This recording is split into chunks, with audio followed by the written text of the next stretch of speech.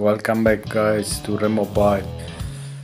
After a while we have a new project, a new Smart fortwo for 50 pulse. This Smart, like old the 450, suffered or leaking rear window and close to the side mirror. I fixed both of them. You will see soon in the next video how I done it.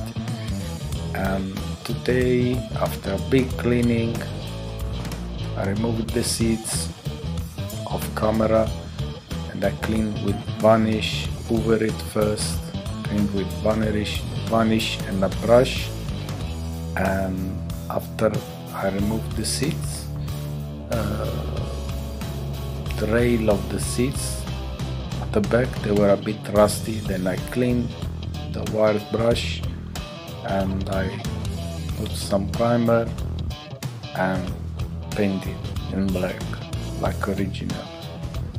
The same I done for all the bolts nuts and bolts.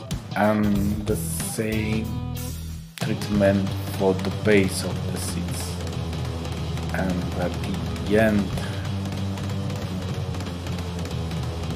I had to do even the engine cover because on the side was a bit rusty.